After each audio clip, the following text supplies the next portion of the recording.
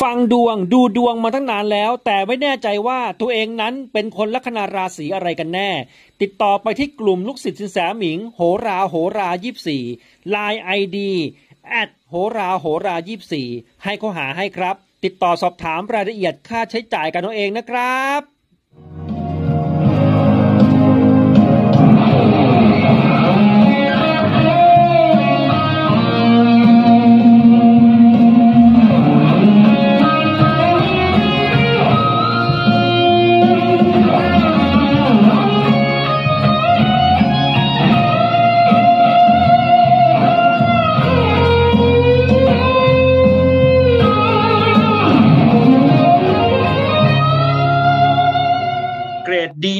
อนละกัน เกรด D dog ก่อนละกัน ในความหมายของเกรด D dog เนี่ยอย่าไปคิดว่ามันเสียหายอย่างเดียวนะครับ เพียงแต่ว่ามันยังมีดาวบาปพระเคราะห์ที่ส่งผลกับลัคนาของท่านอยู่ ผมจึงจำเป็นที่ต้องให้เป็นเกรด D dog ก่อนนะครับอ้าวเคาะระฆังให้กับเกรด D dog หน่อยนะ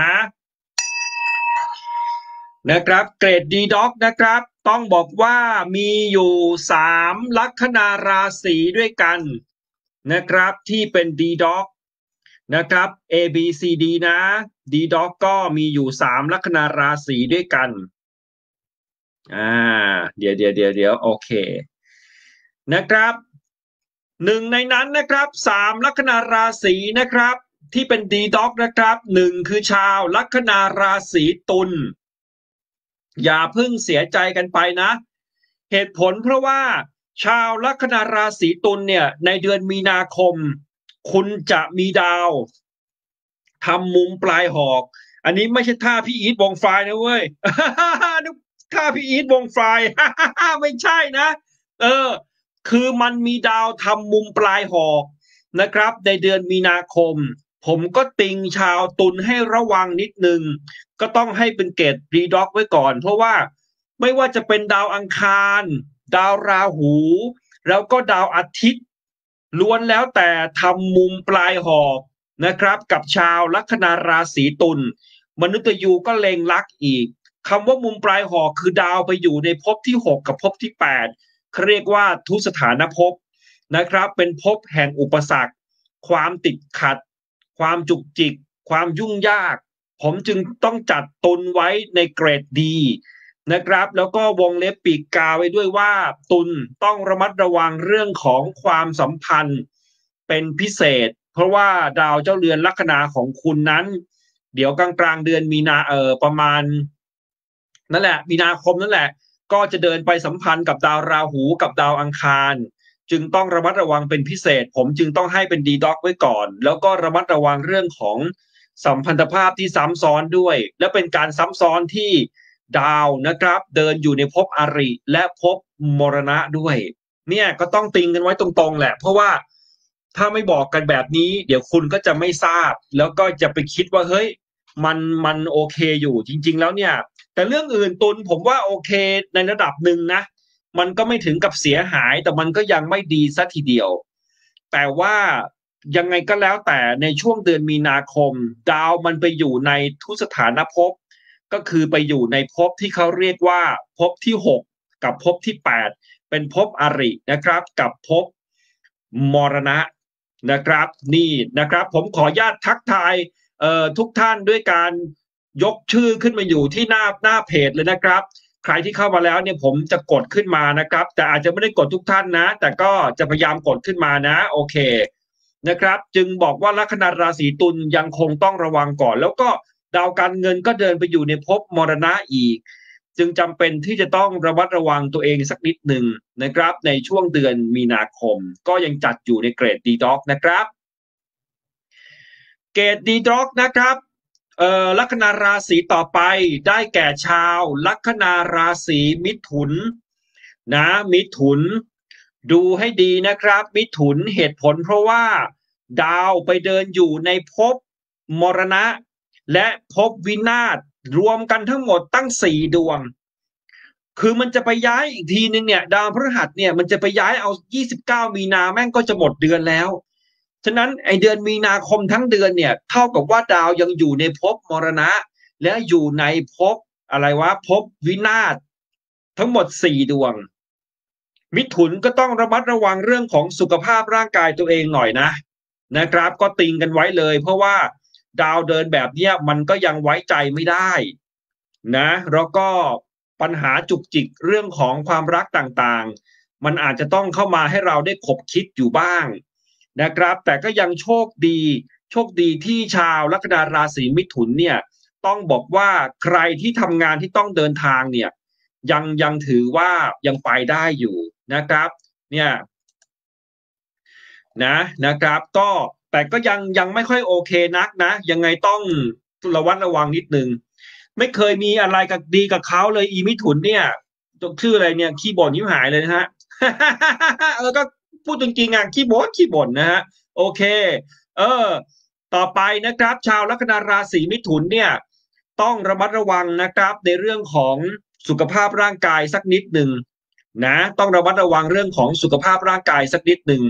ยังไงก็แล้วแต่แต่เดี๋ยวลัคนามิถุนเนี่ยจะเป็นอีกหนึ่งลัคนาเลยที่ดาวพฤหัสพอย้ายวันที่ยี่สิบเก้าปั๊บมันก็จะพลิก เปลี่ยนแปลงไปในทางที่ดีขึ้นไม่มากก็น้อยละแต่ว่าตอนนี้ยังคงต้องอยู่ในเกรดดีด็อกก่อน เพราะว่าดาวเดินอยู่ในภพมรณะและภพวินาศทั้งหมดสี่ดวงด้วยกัน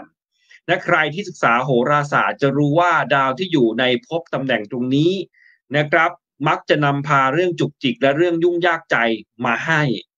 นะครับฉะนั้นชาวมิถุนก็คงจะต้องรอบคอบสักนิดหนึ่งนะ อ่า เข้ามาทักทายกันแล้ววัฒนยาวงเมธานะครับ อ่า ใครเข้ามาแล้วอย่าลืมนะครับ กดแบ่งปันนะครับ กดไลค์กด subscribe กันไว้เลยนะครับ เพื่อให้เพื่อนๆได้ดูได้ชมกันด้วยนะครับ อย่าลืมนะครับเข้ามาแล้วกดไลค์กด subscribe กดแบ่งปันกันไว้เลยนะครับ อีกหนึ่งลัคนานะครับที่เออเป็นดีด็อกนะครับ ผมก็ยังให้เป็นดีด็อกอยู่ เพราะว่าดาวเนี่ยต้องบอกว่ามันเดินอยู่ในภพ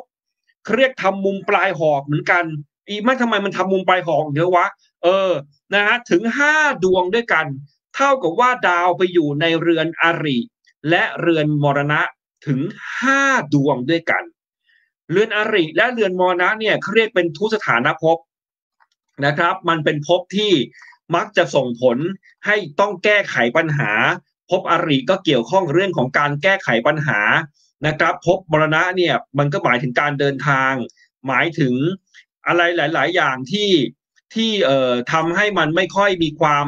happy นัก นี่แหละครับนี่แหละครับคือสิ่งที่ที่ต้องเอ่อระมัดระวังนะครับ ต้องบอกเลยว่าต้องระมัดระวังทีเดียว เพราะว่าดาวเดินอยู่ในภพอริ แล้วก็ภพมรณะ ลัคนาที่ผมเอ่ยถึงตรงนี้ ก็คือลัคนาราศีสิงห์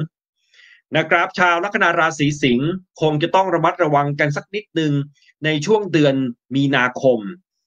แน่นอนที่สุดครับ ดาวไปเดินอยู่ในภพอริสองดวง นั่นก็คือดาวเสาร์และดาวพฤหัส ดาวไปเดินอยู่ในภพมรณะอีกสามดวง นั่นก็คือดาวศุกร์ดาวพุธและดาวอาทิตย์ นะครับ จริง ๆ มันก้ากึ่งนะ มันก็จะมีการขยับย้ายของมันไปนั่นแหละ แต่ว่าณขณะที่ผมพยากรณ์ให้ฟังอยู่ตรงนี้นะครับ ในช่วงดาวที่ผมดูเนี่ย มันยังเดินอยู่ในภพอริและมรณะ และชาวสิงห์ก็ต้องระมัดระวังเรื่องของสัมพันธภาพให้มาก ดาวความรักของคุณไปสัมพันธ์อยู่กับดาวอังคาร ระวังจะมีเรื่องจุกจิกนะครับ ระวังเรื่องรักซ้อนหรืออย่างดีที่สุดเบาที่สุดคือ มีแฟนแต่ไม่ค่อยได้อยู่ด้วยกัน แฟนอาจจะอยู่ต่างจังหวัดหรือต่างประเทศ เอาคนเราบางทีมันอยู่ห่างๆกัน มันก็ทำให้มันนอยได้เหมือนกันนะนอยในความหมายที่ผมบอกตรงนี้ก็หมายความถึงว่าทำให้เรามีความรู้สึกไม่สบายใจคับข้องใจ บางทีมันก็คิดไปต่างๆ นานานะครับ และนี่ก็คือนะครับจัดอันดับไว้ที่ดีด็อกนะครับ มีอยู่สามลัคนาด้วยกันคือหนึ่งลัคนาราศีตุล ลัคนาราศีมิถุน แล้วก็ลัคนาราศีสิงห์นะครับสามลัคนานี้ผมจัดไว้ให้เป็นดีด็อกก่อนนะครับ แต่เดี๋ยวมันก็จะมีการเปลี่ยนแปลงของมันไปนั่นแหละ มันไม่ได้อยู่ตรงนี้ตลอดหรอก บางทีมันก็สลับ อย่างเนี้ยอย่างสองลัคนาในสามลัคนาที่ผมบอกเนี่ย เดี๋ยวพอปไปปลายเดือนมีนาคม เปลี่ยนแปลงพลิกกลับดีขึ้น ดีขึ้นเลยนะ แต่ว่าณตอนเนี้ยมันเป็นแบบที่ผมพยากรณ์ไว้นี่แหละ ยังไงท่านก็ต้องไปตามดูกันนะครับ ต่อจากนะครับต่อจากลัคนาราศีเอ่อทั้งสามลัคนาราศีที่เป็นดีด็อกไปแล้วนะครับ ก็มาถึงสามลัคนาสำนักมังกรทอง สินแสหมิงคงเบ้งเมืองไทย ให้คำปรึกษา ศาสตร์แห่งห่วงจุย้ยโงเฮง astrology การเลือกใช้เลขเบอร์โทรศัพท์มงคล